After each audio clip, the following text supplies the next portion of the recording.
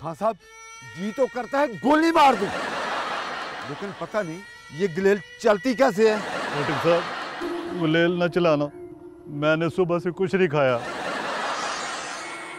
खामोश! शर्म आ रही है तुम लोगों पे। जीती हुई सीटें इतनी आसानी से गवा दी जैसे एक देहाती बस में जेब कटवा लेते हैं। खान साहब हमारा कोई कसूर नहीं।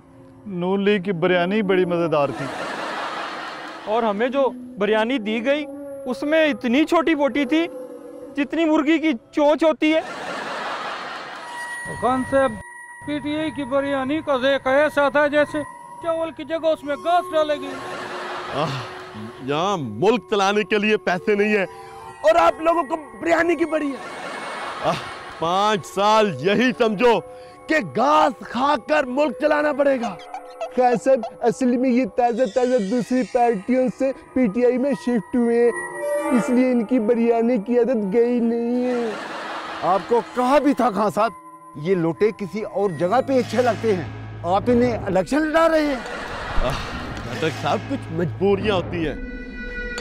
इनको सजा मिलेगी बराबर मिलेगी। खटक साहब क्या हुआ? क्या आपकी टांग सो गई है? उठी उठी। खान साहब ये गलेल बहुत भारी है। मुझे को हल्की सी गलेल तैयार करवा दी। आपके लिए गत्ते की गुलेल बनवा देते हैं। आपने कौन सा चिल्लानी होती है? ओहो आप लोग तो चुप करें। खटक साहब आप लोग इनकी सजा का बंदोबस्त करें। ऐसी इबरतनाक सजा दे कि आइंदा हारने वाला उम्मीदवार इलेक्शन में खड़ा ही ना हो। ठीक है खान साहब। भाई।